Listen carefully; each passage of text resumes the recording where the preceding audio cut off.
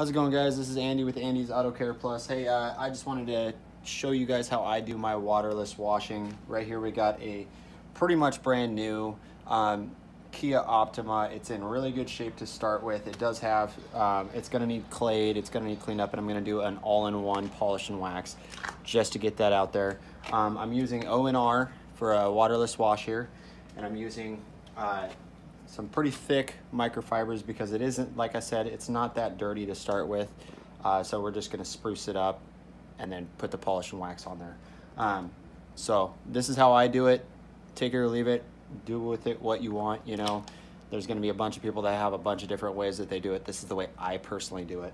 Um, so I'm gonna start, I've already done this whole section in front of us, so we're just gonna do this little section right here. So I'm gonna start at the top, putting pressure on there, where I swipe, there's gonna be a line here. I'm gonna rotate my hand down to where my new spot where I'm pushing will be right below that. Hopefully that made sense. There's now a line here, so I'm gonna put rotate my hands down, have a new line on where I do it. That's where I'm putting most of the pressure. Now it was here, I'm gonna rotate down. Just gonna keep doing that. See, now that I'm getting lines in the middle, what I like to do is just go ahead and flip it over. And you can go from side to side, you can go up and down. Basically, the point of it is, is to not be putting the dirt that you've already taken off back onto the vehicle. So you can go sideways, you can go down. I just do a little section at a time is how I'm gonna do this. It is mixed with distilled water. Um, that's your best bet so that if you do get some drying on there, you're not gonna have to worry about water spotting. I'm gonna now stick that back in the bucket I'm gonna go in here. I got my clay bar. I got some uh, more diluted ONR right here. This is about probably 10 to 1 on this. In the bucket, I got an ounce per two gallons in there. So I'm gonna now spray this down, spray this panel down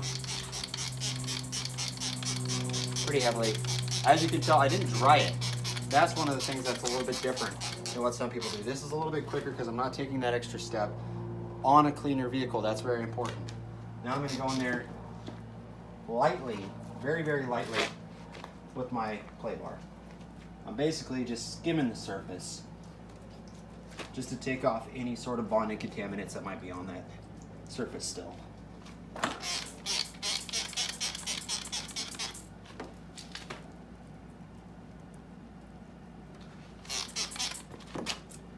So as I'm doing this, I'm looking for other imperfections along the vehicle that I might need to spend a little bit extra time polishing or something like that.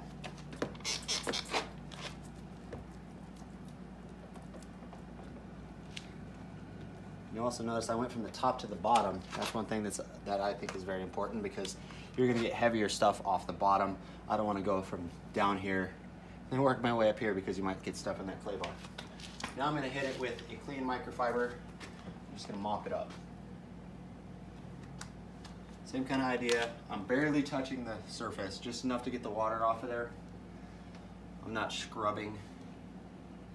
There shouldn't be any dirt coming off because we already cleaned that up.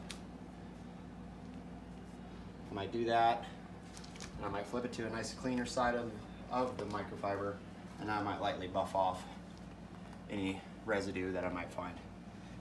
And now that I'm done with that, right after this is when I start going into something with like HD speed or you know Griot's finishing polish or something like that, some sort of all-in-one. Now you can hit it because now you have a clean surface. This is kind of the process what I do with, you know, like I said, cleaner vehicles. So hey, thanks for watching my video. Uh, don't forget to subscribe, like the video. Um, stay tuned for more. Thanks guys.